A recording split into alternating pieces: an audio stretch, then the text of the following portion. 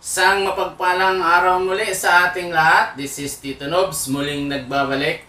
Small YouTuber, simpleng vlogger, handang maglingkod sa inyo. Saan mang sulok ng mundo tayo naroroon.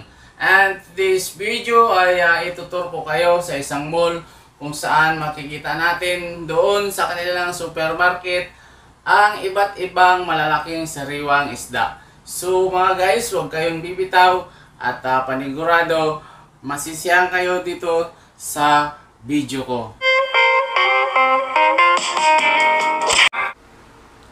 Nandito ako ngayon sa loob ng ah, mall, sa isang mall sa Quezon City kung saan uh, papasyal ko po kayo sa kanilang ah, supermarket kung saan matatagpuan yung kanilang mga sariwang isda.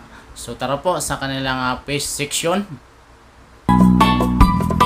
So ayan na mga guys, nandito tayo ngayon. Nakikita nyo yung uh, malalaking aquarium na nakapaikot dito sa kanilang supermarket. May mga laman ito, mga buhay na hipon, ayan, mga buhay na hito. Press na press yung hito nila mga guys, gumagalaw-galaw pa. At meron din sila ditong uh, tinatawag na yung uh, red tilapia. Ito guys, yung uh, kanilang red tilapia. Ito ay uh, kulay pula. Uh, bihira lang po ito makikita sa mga palingki. Meron din silang uh, iba't ibang malalaking isda. Kamukha nitong bisugo. Meron din silang uh, tambakol. At yung mga tinatawag na isdang bato. Bagamat uh, nandito sila sa mall, eh, sariwang sariwa po yung kanilang mga isda. At napakamura po nung kanilang presyo.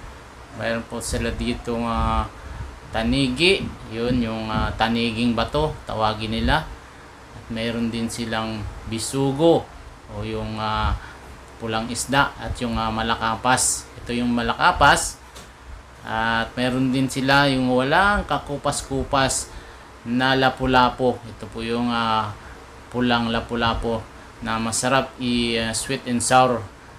Kung uh, pwede uh, ihaw, steam, marami po tayong magagawang luto. At mayroon din silang yung uh, dambuhala. Ano bang klaseng uh, lamang dagat to? Dambuhala ito mga guys. So, nakakatakot naman po kainin yung dambuhala na yan. Mayroon din silang uh, talakitok.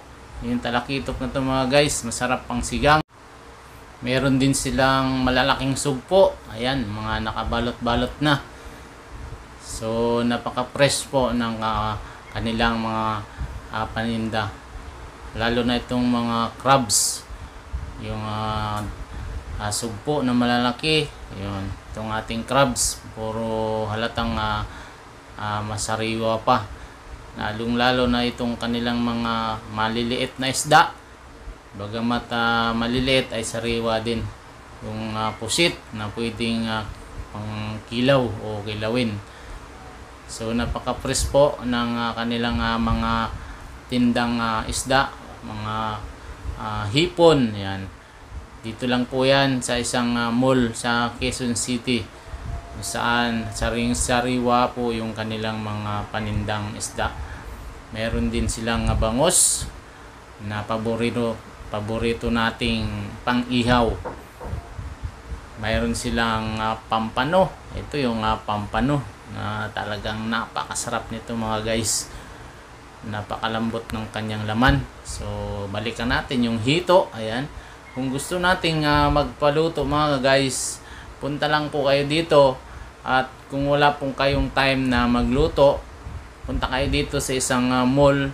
Uh, turo nyo lang kung ano yung gusto nyo at sila na bahalang uh, magluto at napakasarap din po ng kanilang uh, timpla yung kanilang uh, timplada dito sa kanilang mga isda.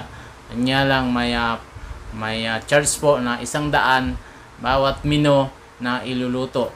So kunyari yung nagkakalaga nung bangos eh 200 so plus 100 na charge sa pagluluto.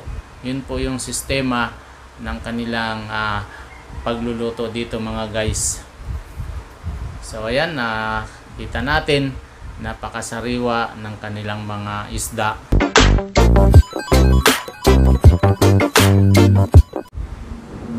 puntahan naman natin yung kanilang ah, karnihan. Yan, may mga manok din sila. May mga langgunisa.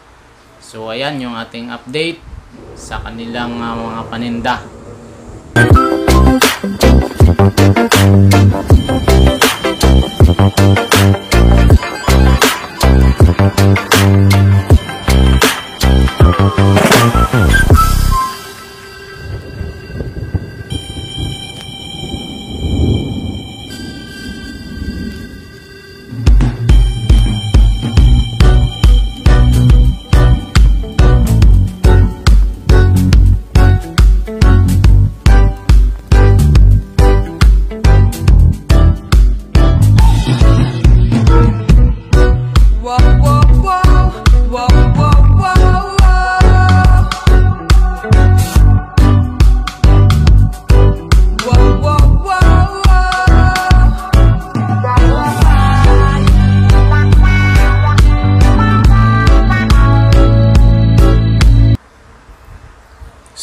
So ayan mga guys, pauwi na kami.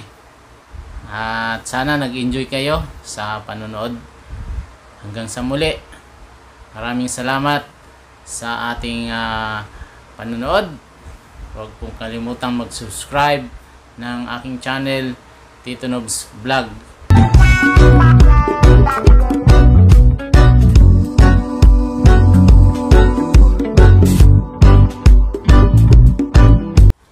Ayun, napanood natin yung ating ah, simpleng ah, video mga guys. Kung nagustuhan nyo yung aking ah, video, Paki-subscribe po ng aking channel, Tito Rob's Vlog. At huwag pong kalimutan, uh, paki-like na rin po ng aking ah, video para po ah, marami pa ang ah, makapanood. At huwag pong kalimutan, pindutin ang ating kampana para po lagi tayong updated sa atin pang mga susunod na mga video. Hanggang sa muli, ito po ang inyong lingkod, handang maglingkod sa inyo, saan mang sulok ng mundo tayo naroroon.